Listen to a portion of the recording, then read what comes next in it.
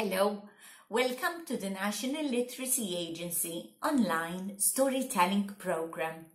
Today I have a story from England for you. It is a very popular story.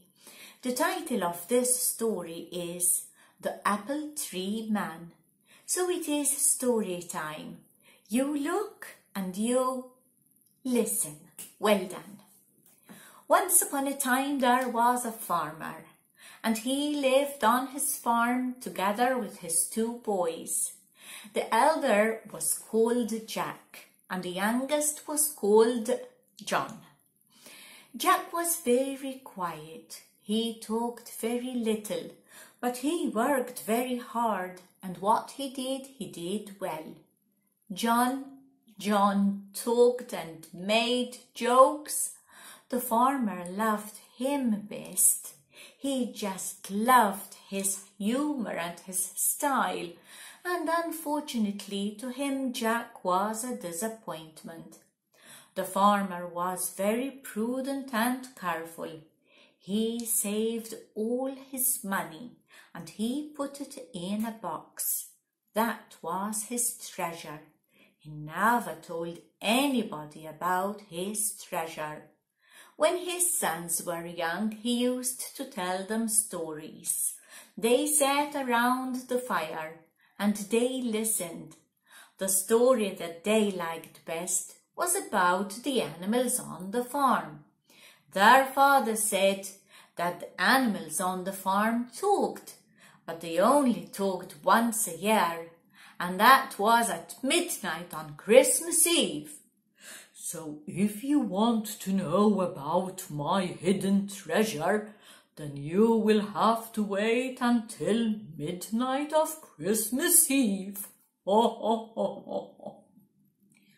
Unfortunately, the farmer died. He left all of his land to John, and he left Jack with no inheritance. John hired a piece of small land to his brother. It was only ten by ten paces square. There was an apple tree, the cottage, a cow and a donkey. He rented those for one shilling a year. Well, you might think that one shilling is not a lot of money, but it was. It was a lot of money during that time. And John, John hired a manager to take care of his business, and he lived a life of ease. Jack bought the best food for his animals. He bought oils and herbs to rub onto the skin of his animals to make them feel better. He milked the cow and made cheese. He took care of the apple tree.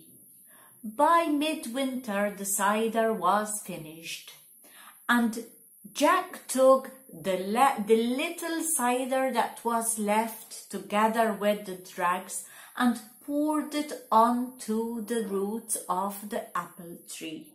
As he said, Apple tree, apple tree, I give to you as you give to me. Blessings on your harvest. One day before Christmas, John went back to the farm. When he saw Jack, he yelled and he said, You owe me one silver shilling. And Jack said, I always pay you on Christmas Day.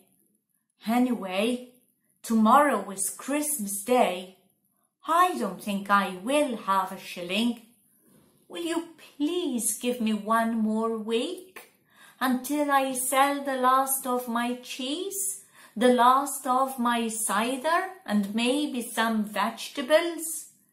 But John was very greedy and he said, No, no, you will pay up tomorrow. John was going to walk to the cottage when all of a sudden he remembered the story his father used to say about the talking animals. He walked back to Jack and he said, Make sure you will wake me up at midnight. I want to know if those animals on the farm talk. Jack nodded. He fed the animals. He gave them the good food. He rubbed the oils into their skin. He went to the apple tree, and like always he took some cider, and he poured the cider onto the roots of the tree. And as always he said, Apple tree, apple tree, I give to you as you give to me blessings on your harvest. And just as he said that, the tree began to move. And the bark of the tree, it was like shimmering. And Jack was a little bit frightened. He was all ready to run away. Out of the bark of the tree came the apple tree man. His face was very wrinkled. His hands were very wrinkled. His knees were knobbly.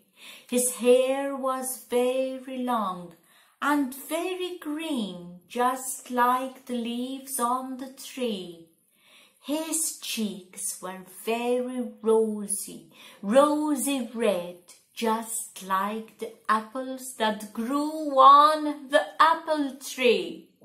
Wait, wait, my friend, don't run away.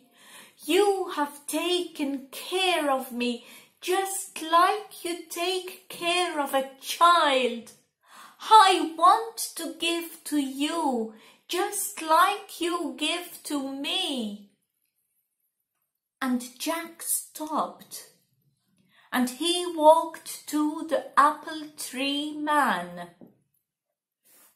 The apple tree man said that there was a treasure. There was a treasure under the tree. Jack, dig up the treasure and keep it. Keep it for yourself. Don't tell your brother anything. He is greedy. He is jealous. And Jack, he took a shovel and he started digging and digging and digging, paying very much attention not to damage the roots. And he dug and dug until, until he hit a tin box. He dug up the box. He opened the lid and inside there was a treasure indeed. Money, money, money, and so many precious things. Jack, he closed the box again, and as he was going to look at the apple tree man, the apple tree man was inside the bark of the tree already.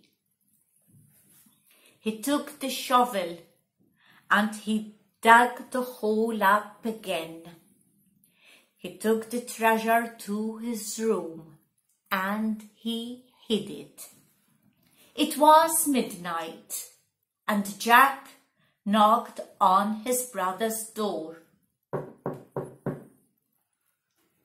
John, John, it is midnight.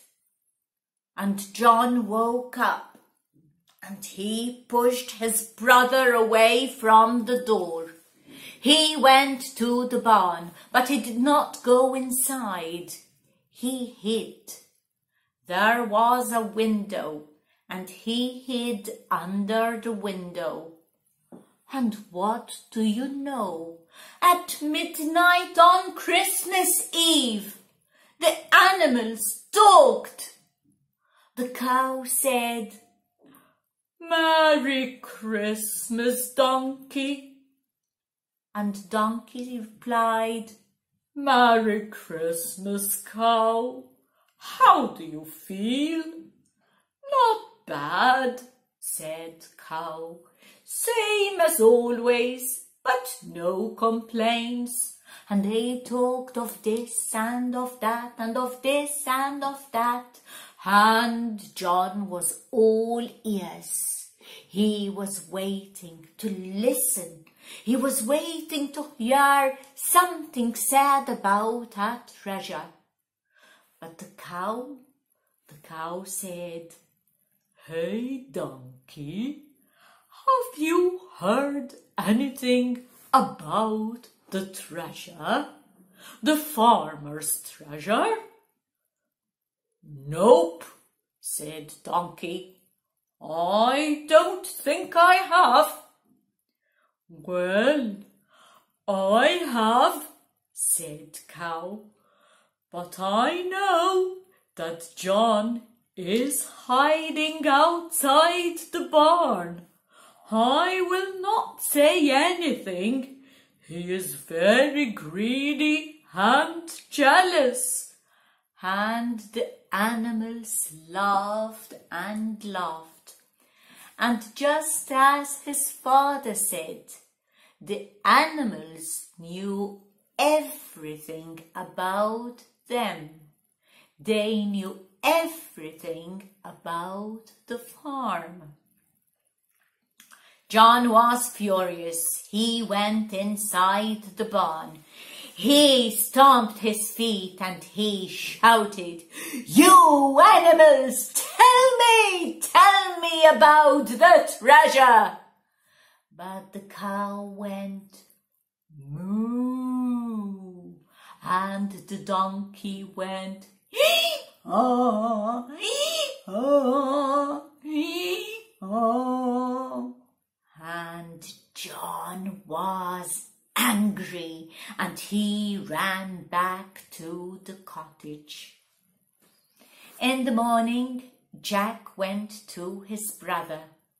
Merry Christmas, brother of mine. Here is your silver shilling. John was very suspicious. Where did you get that shilling from?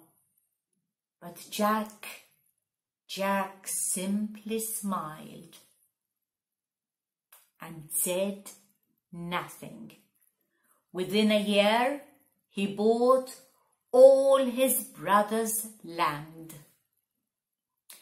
And every year at midnight during Christmas Eve, he went to the apple tree and he poured cider on the roots of the apple tree.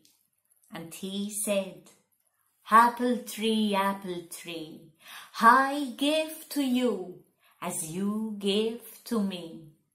Blessings on your harvest.